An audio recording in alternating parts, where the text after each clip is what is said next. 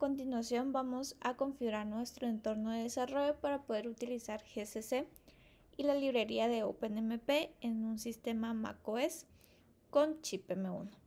Lo primero que vamos a hacer es revisar si ya contamos con alguna versión de GCC que haya sido instalada a través de alguna otra extensión o programa que nosotros necesitamos. Normalmente esta es instalada con las versiones de Xcode o del Command Line Developer Tool que también es de Xcode.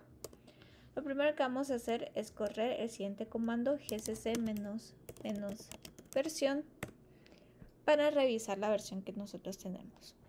Podemos ver aquí que actualmente sí fue instalado a través del Command Line Developer Tools debido al path en donde se encuentra. Sin embargo, no contamos con GCC como tal, sino contamos con Apple Clank. Yo preferiblemente a utilizar GCC. Entonces vamos a continuar con la instalación de GCC. La instalación de GCC la vamos a realizar a través del manejador de paquetes Brew. Si ustedes aún no cuentan con este manejador de paquetes, podemos irnos a nuestro internet y buscar install homebrew y dar clic en el primer link que es de la página de brew y vamos a copiar este comando en nuestra terminal y esperar a que se termine de instalar. Como yo actualmente ya lo tengo instalado, entonces ya lo puedo utilizar y lo primero que vamos a hacer es correr el comando brew info gcc. Esto nos dará información acerca de GCC en Brew y en nuestras máquinas.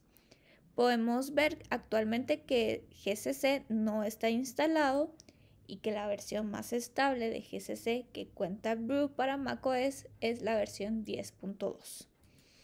Entonces ahora vamos a continuar a hacer la instalación a través del comando brew install gcc. Esto puede demorar algunos o varios minutos. Como podemos ver, nuestra instalación ya comenzó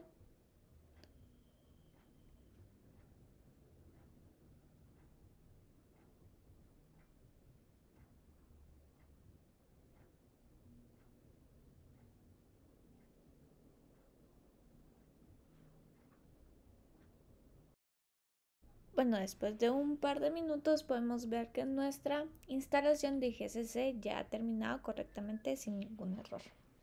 Entonces ahora vamos a correr el comando brew cleanup únicamente para limpiar archivos temporales que hayan podido quedar y poder liberar un poco más nuestro espacio en disco. Ahora que ya terminó, vamos a volver a revisar la información acerca de GCC en nuestra computadora y vamos a correr nuevamente el comando brew info gcc. Y en este caso podemos ver que gcc ya está instalado en nuestras computadoras, pues ya dice que tenemos la última versión de gcc instalada. La versión que tenemos era 10.2.0. Lo que vamos a realizar a continuación después de haber instalado GCC correctamente es configurar nuestro editor de texto para poder editar diferentes archivos .c. En nuestro caso vamos a utilizar Visual Studio Code y lo que vamos a hacer de primero es buscar un ejemplo de código con la librería de OpenMP en internet y vamos a escribir hello OpenMP y vamos a buscar el link que sea de gist.github. Cuando estemos aquí adentro vamos a copiar y pegar este archivo y lo vamos a colocar en un archivo con la terminación .c en nuestro editor de texto. Lo que vamos a hacer a continuación es irnos a los últimos cuadritos e instalar la extensión de C y C++. Y vamos a escribir C, C++ como ven aquí. Y la primera que nos aparece es la de Microsoft. Esa es la que nosotros vamos a estar instalando. Y pues ahí correctamente ya está instalada, configurado correctamente nuestro editor de texto nos hace falta una librería. Como ven aquí, este ejemplo está incluyendo la librería omp.h. Sin embargo, nosotros todavía no la hemos instalado. Vamos a minimizar esto y regresar a nuestra terminal y nuevamente con el manejador de paquetes brew vamos a instalar esta librería. Vamos a correr el siguiente comando que es brew install lib omp. Y como se puede ver aquí, nuestra instalación ha terminado de la librería de OMP. Bueno, a continuación vamos a hacer la prueba de compilación de nuestro archivo de ejemplo a través de la línea de comandos.